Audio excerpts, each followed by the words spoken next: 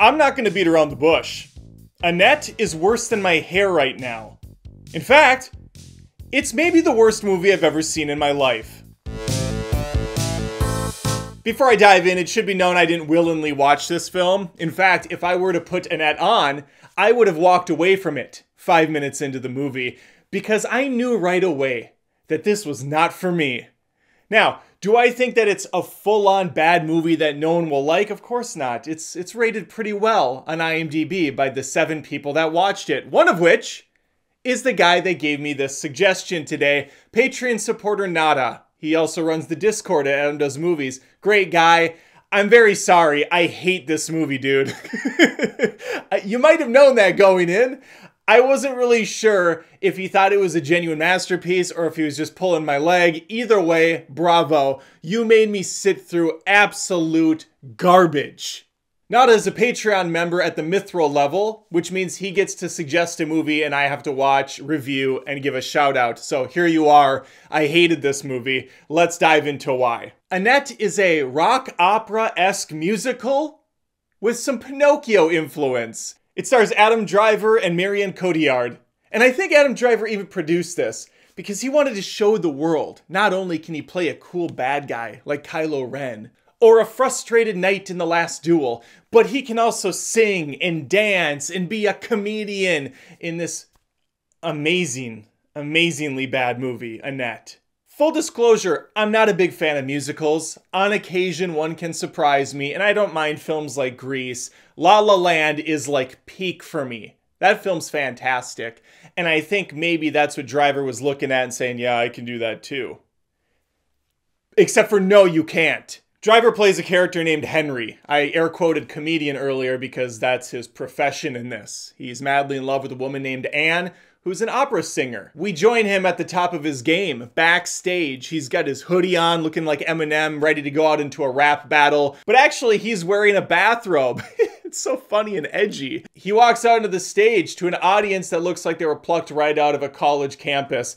This is the artsiest bullshit I've seen in maybe ever.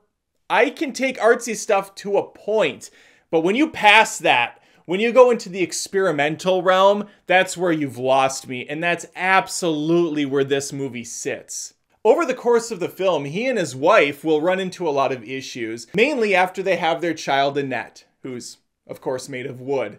Let's keep going. I don't feel like that needs to be clarified any further. As I mentioned, this is a musical, and by musical, I mean it's nonstop everyone's singing everything at all times. Even when it's more of a natural dialogue flow, it's still talked like this. We're kind of off key and pointing things out. And the actual songs have such a lack of substance, you couldn't even make a sandwich out of this thing. There's no meal to be had here. They're really just literally telling you what they're doing in the thing you're watching. Like Adam Driver might go to the bathroom and tell the audience, I'm taking a shit now. I'm taking a shit now. I'm and that that's seriously the the entire song. And they might juxtapose it with something going on with the wife. Who cares? About 30 minutes into this movie, before I shut it off, uh, this took me three different sittings to watch, by the way.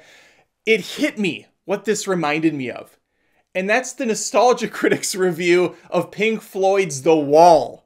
I think that that review or whatever you want to call it is like an hour long or 45 minutes long and it's a bunch of terrible singing and bad effects work. It's just embarrassing, cringe all around. And that's how I felt watching Annette. Like, who is this audience? Besides, I guess, college art students.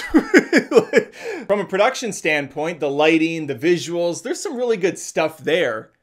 Music I hated.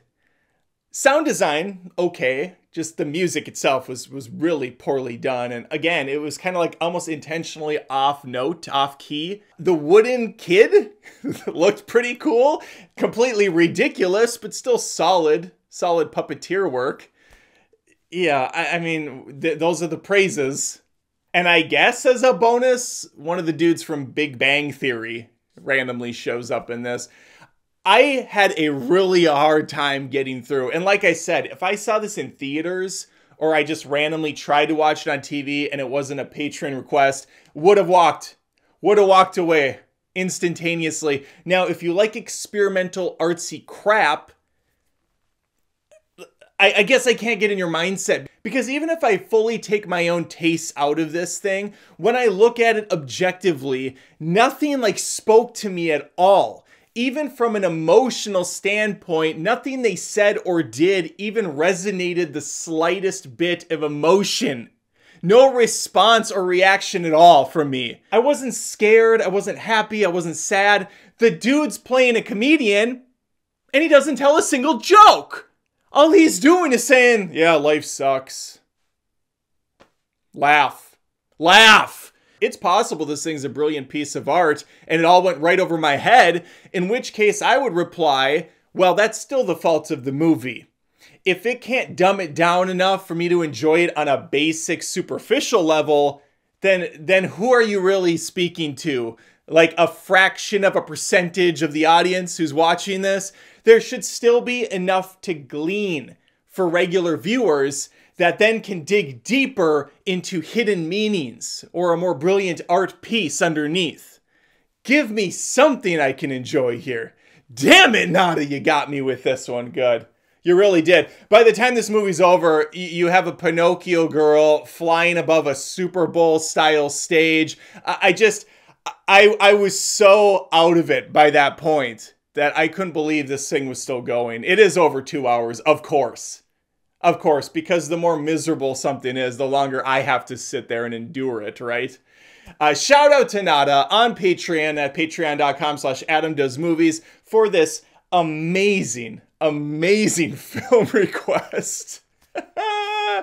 Gotta love it. You too can become a member at patreon.com slash adamdoesmovies. It's where I make almost all of my money on YouTube. It's a pretty pathetic state of affairs for me. It's a sad state of affairs over here when you're just trying to be honest and, and, and give some valuable insight, or maybe not valuable, but genuine insight.